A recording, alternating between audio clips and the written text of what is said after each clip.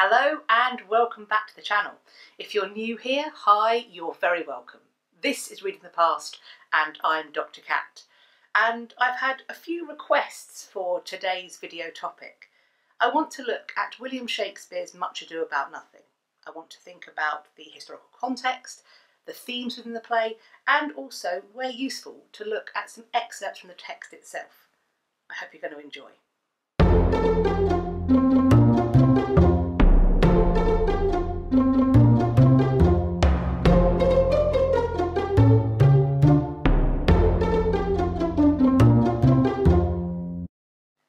About Nothing is believed to have been written in around 1598 or 1599, and it would seem that it was performed on or around this date too.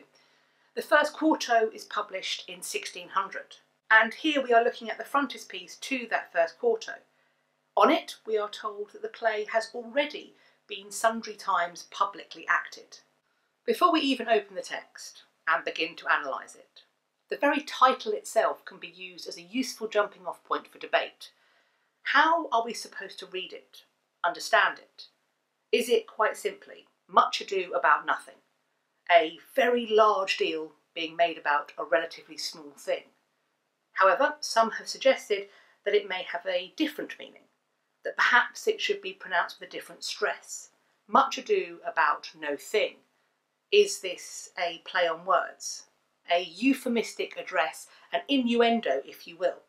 In the play, Hero is accused of being unchaste, of losing her virginity, and therefore potentially also her hymen. She no longer has her thing between her legs. Some have suggested that this is what Shakespeare intended with the title. And if he does, then are we to read this as Shakespeare's own moral position? Does he think that the society around him pays too much mind to the sexual behaviour of others? Does he think it ridiculous that so much stress and weight is put on premarital sex? Is he laughing at it? However, there is yet one more way that we could read this title. Some have suggested that for Shakespeare and his contemporaries, the word nothing was pronounced noting. Thus, the play's title would be Much Ado About Noting. It could mean, as it does in the first case, that much is being made out of nothing. However, noting, then as now, may also refer to observing, spying, listening at doorways. And as we will see when we look through the play, much ado is made by noting. People gossip, they listen at doorways, and they overhear. And in the world of the play, that can lead to both humorous and disastrous conclusions. But what about the texts that may have inspired Shakespeare as he set about creating his plot and characters for Much Ado About Nothing? Stephen Greenblatt suggests that Chaucer's Troilus and Criseyde, which was written, we think, in the mid 1380s, may have been one of the sources for the Beatrice and Benedick characters, these eventually ardent lovers who once mocked the very idea of love itself. The next texts I want to discuss have been named as potential sources for Shakespeare by a number of scholars. When they have looked at the narrative of the virtuous lady, in Much Ado About Nothing, this is Hero, whose reputation is falsely slandered. They assert that it may have been inspired by a few texts, including Ludovico Ariosto's Orlando Furioso, which was first published in 1516, revised in 1521 and in 1532. The English translation of this text did not emerge until 1591 and was produced by Sir John Harington, Queen Elizabeth I's godson. Orlando Furioso is principally focused on the story of the knight Orlando and his devastating love for the beautiful Angelica. However, the fifth book, or canto of this poem, deals with the story of the falsely accused Ginevra, a Scottish princess. She is being rejected by her lover Ariodante, due to the lies of the scorned Duke Polinesso. Also suggested as an inspiration for this plot point is Matteo Bandello's novella of 1554. It does not only offer another route for inspiring the hero Claudio marriage plot enacted by Don John, but it may also have inspired the setting of the play in Messina. Some of the other action of the play may have been inspired by Castiglione's The Book of the Courtier from 1528, the English translation being produced in 1561. The Book of the Courtier is a courtesy manual formed of a series of conversations between courtiers on the ideal attributes that should be aspired to by those like them. Among other things, the Book of the Courtier makes references to sprezzatura, which is, as Stephen Greenblatt explains, quote, a cultivated nonchalance. Sprezzatura is a technique for the manipulation of appearance. This masking is an open secret. Others know that you are masking, but they must keep this knowledge suspended in the belief that it is a breach of decorum to acknowledge their own knowledge. Not only does this part of the Book of the Courtier and its explanation give us context for the play acting displayed by characters like Beatrice and Benedick in Much Ado About Nothing, it also, I would argue, offers us a broader insight into the seeming minefield of being a courtier in early modern Europe. The question of where and how William Shakespeare was able to access these texts, the possible existence and survival of his library, is a hotly debated topic by Shakespeare scholars and bibliophiles alike. In Much Ado About Nothing, William Shakespeare is exploring a number of themes, and I want to focus on just a few of them today. And to do that, I'm going to be picking out key moments from the text that I think best depict these themes. And they include the notion of a person's nature, the idea that somebody's birth and upbringing and status in life can affect who they are and also the deeds they perform. Equally, that that nature might be depicted on the exterior, that the way a person looks, their blushes, can tell you about their true nature. We'll also be looking at the ideas of social grace, keeping up appearances, the notion of honour, if you will. Similarly, deception, and the power of words and language to create and to break apart relationships. I believe that throughout Much Ado About Nothing, the audience is being shown that words are powerful. They can be used to generate, to create, but equally, in the wrong hands, they can be dangerous, destructive, and even incite violence. At the start of Act 1, Scene 3, we are at Leonato's house, and we witness a conversation between Don John and his companion Conrade, and they are talking about Don John's temperament or nature. Don John is the bastard brother of Don Pedro, Prince of Aragon, and in the sections of text I want to look at now, it seems that he is a big believer that the state of someone's birth, the star under which they are born, and perhaps, in his case, the fact that his parents were unmarried, can affect the course of their life. It can alter their nature, perhaps even their humoral balance. It seems that he may be using this as an excuse for his nefarious deeds that have been done before and will be continued after. That because he is ill born, it gives him license, perhaps, to destroy Hero's reputation and damage the love that Claudio has for her. Don John says to Conrade, I wonder that thou, being as thou sayest thou art, born under Saturn. Someone being born under Saturn refers to them being born when the planet Saturn was in the ascendant. It may make this person saturnine or melancholic. I wonder that thou, being as thou say thou art, born under Saturn, goest about to apply a moral medicine to a mortifying mischief. I cannot hide what I am. I must be sad when I have cause, and smile at no man's jests. Eat when I have stomach, and wait for no man's leisure. Sleep when I am drowsy, and tend on no man's business. Laugh when I am merry, and claw no man in his humour. All of this sounds potentially quite positive. Don John is saying, I must be what I am. But on the flip side of that, it's almost that he can't control himself. He must eat when he's hungry. He must be satisfied at all times. Every whim must be answered. Just as somebody born under Saturn may be melancholic, it seems that Don John, perhaps because he was born a bastard, must give in to every lust or desire that he has. Don John continues, I had rather be a canker in a hedge by canker, he is talking about a wild rose in opposition to a cultivated one. With a cultivated rose, you know who the parent strains are. You have, in essence, married them together. His parentage is therefore more confused and questionable. I had rather be a canker in a hedge than a rose in his grace. And it better fits my blood, he means disposition, to be disdained of all than to fashion a carriage, to feign behaviour, to rob love from any. In this, though I cannot be said to be a flattering, honest man, it must not be denied but I am a plain dealing villain. I am trusted with a muzzle and enfranchised with a clog. Now, when a dog is forced to wear a muzzle for people's safety, this is perhaps not a dog that can be trusted. And to be enfranchised with a clog refers to being free but shackled at the ankle, perhaps. Therefore, I have decreed not to sing in my cage. If I had my mouth, I would bite. If I had my liberty, I would do my liking. In the meantime, let me be that I am, and seek not to alter me. It would appear then that we are presented with Don John. He is who he is, nefarious, evil, and scheming. Get too close, he will bite you. Give him an inch, and he will take a mile.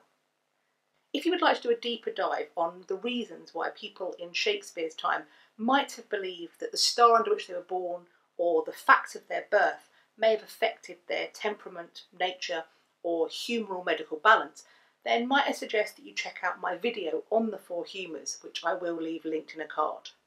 Certainly, it will not be long before Don John proves that his claims to being a plain dealing villain are completely valid. In Act 2, Scene 2, he is shown plotting with Borachio to create a deceptive scene for Claudio to overhear, so that he will deem Hero, his beloved, to be false. However, in the next scene, a more benign plot that takes a nearly identical form is underway. Don Pedro, Leonato, and Claudio are conspiring to have Benedick overhear different invented tales.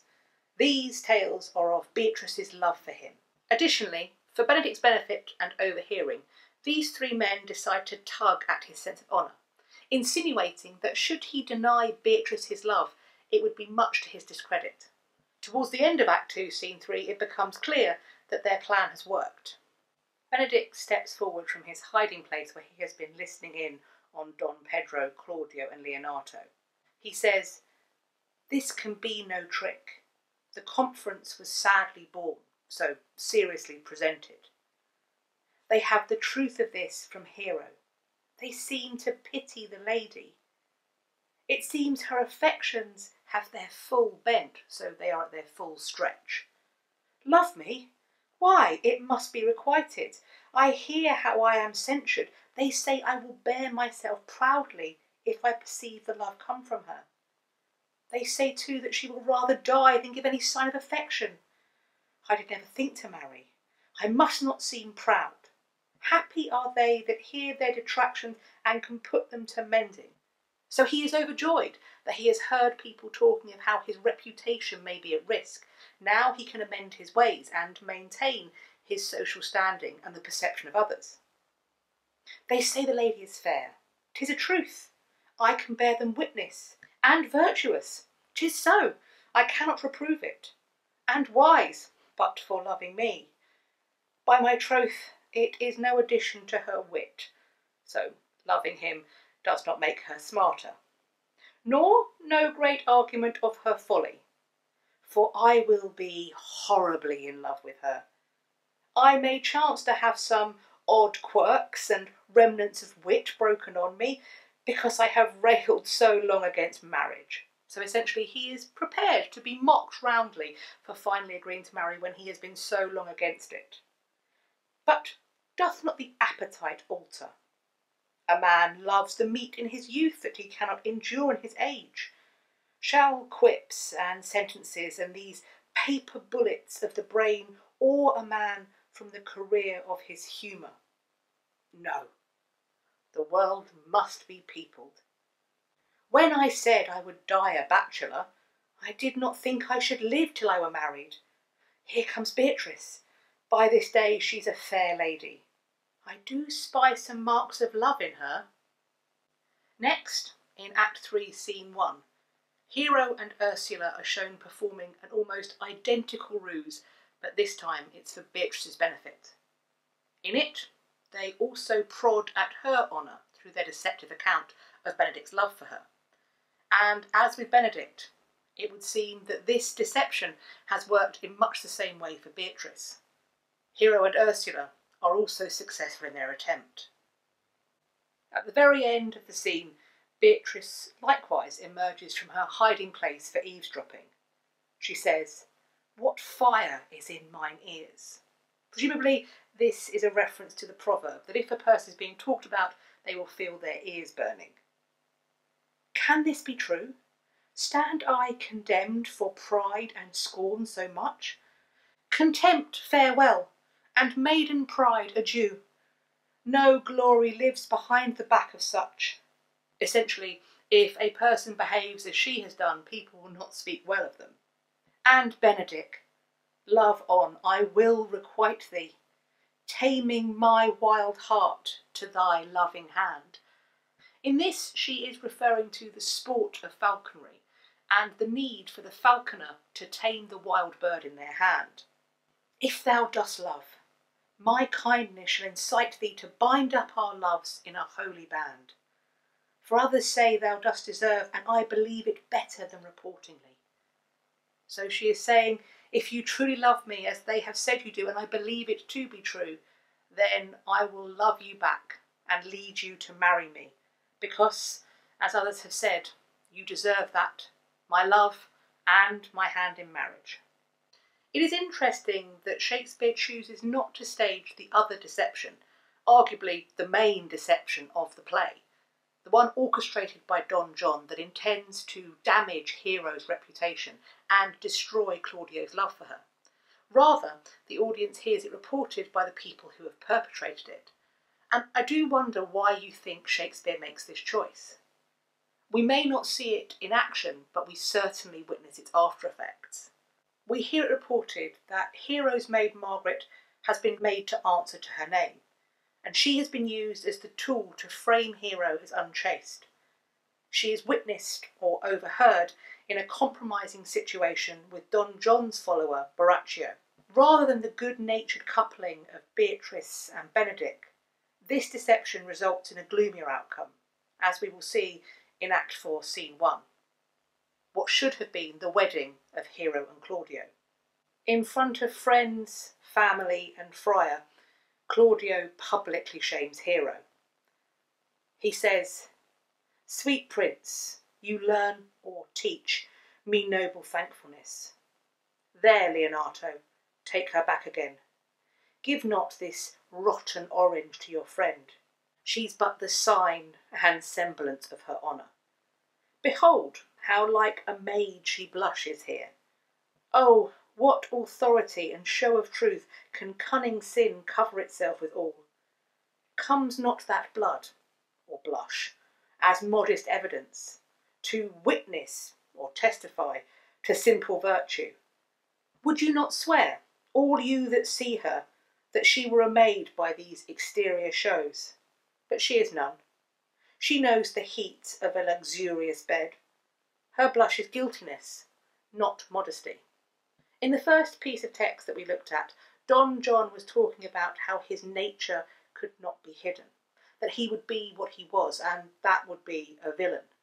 In this, Claudio is drawing attention to the fact that Hero's outward show belies the truth of her character, that her very nature is deception that what people might take as maidenly blush is, in fact, the guilty sign of a lustful woman.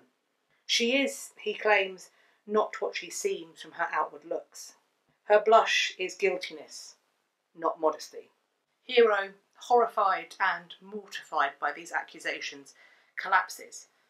And what happens later in the scene is, as far as I'm concerned, one of the most disturbing moments in the entire play.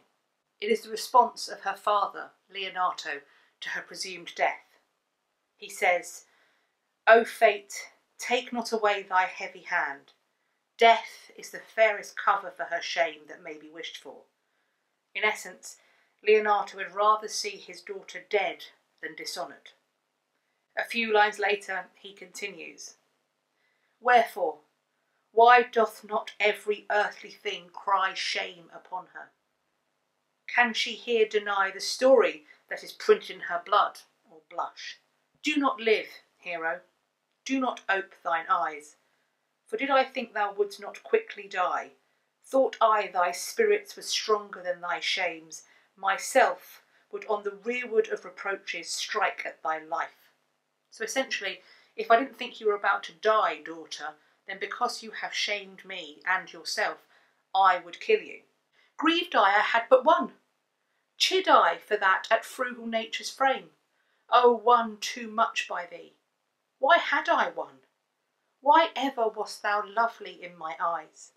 Why had I not with charitable hand took up a beggar's issue at my gates, who, smirched thus and mired with infamy, I might have said, No part of it is mine.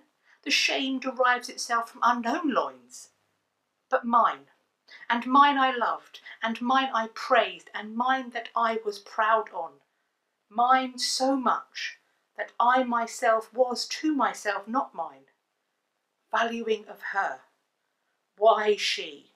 Oh, she is fallen into a pit of ink, that the wide sea hath drops too few to wash her clean again, and salt too little which may season give to her foul, tainted flesh.